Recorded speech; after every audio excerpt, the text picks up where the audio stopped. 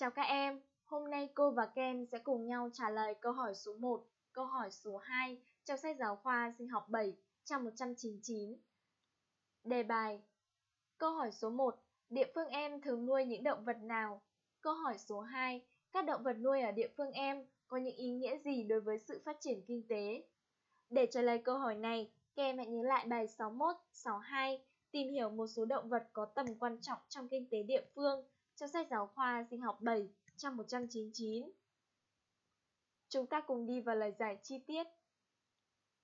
Câu 1 Hầu hết các địa phương ở Việt Nam đều nuôi các loại gia súc như trâu, bò, dê, lợn, vân vân, các loại gia cầm như gà, vịt, ngan, ngỗng, vân vân, cá, tôm, ba ba, lươn, vân vân.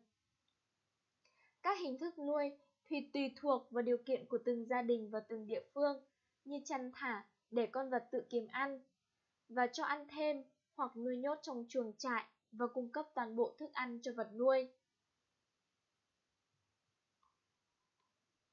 Câu hỏi 2. Ý nghĩa kinh tế của các vật nuôi ở địa phương Đối với trâu bò thì cung cấp sức kéo như cày bừa, kéo xe, vân vân và để lấy thịt, lấy sữa. Lợn thì là nguồn cung cấp thịt.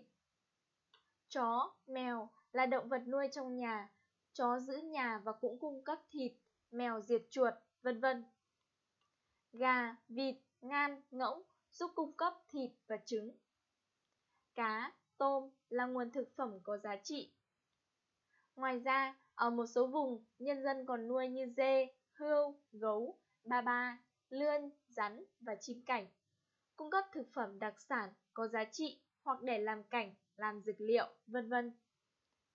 Như vậy, hôm nay cô và các em đã cùng nhau trả lời xong câu hỏi số 1, câu hỏi số 2 trong sách giáo khoa sinh học 7 trang 199.